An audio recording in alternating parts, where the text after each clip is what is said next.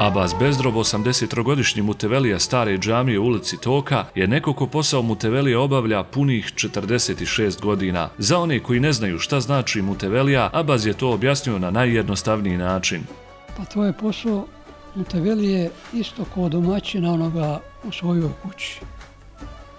I još čak bolje, jer u svojoj kući mora nešto i promaći, jer neće nikome ništa, neće niko prigovarati, ali u džamiji treba da odgovaraš.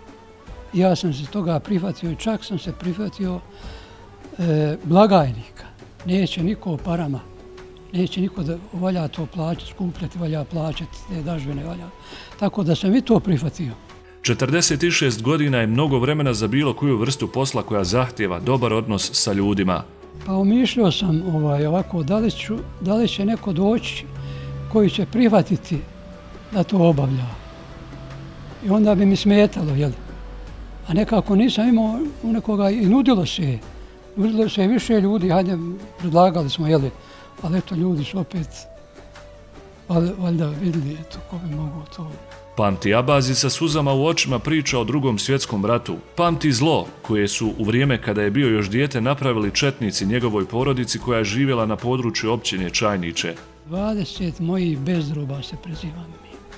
Su pobili komšije. 20. Neki su bili oženjeni koji su imali po troje četvoro djece i onda su nas protjerali i tri godine smo bili u izbjeglištvu, u Mohađirima. I kad smo se vratili, te žene sa djecom, bilo jedno četiri, pet starije tije ljudi, nije bilo tije sposobni ljudi, možda nekoliko, jel, svi su izgunili, izgunili ljudi. I tako da je to težak period bio nismo imali ono što se kaže motike jedne da zakopamo, da posadimo lijehu luka. To je trajalo godinama. A koliko je radio svoj posao dobro tokom gotovo pola vijeka, svjedoči naredna Abazova izjava. Nikad nisam čuo riječ da je neko mi nešto prigovorio za to vremena. Pa nešto možda nije bilo ni po kontu nekome, nešto je veli tako, da je to tako išlo, tako da nisam imao nikad uvrede nikakve. Pa to me drži. 46 godina. Ja, to me drži.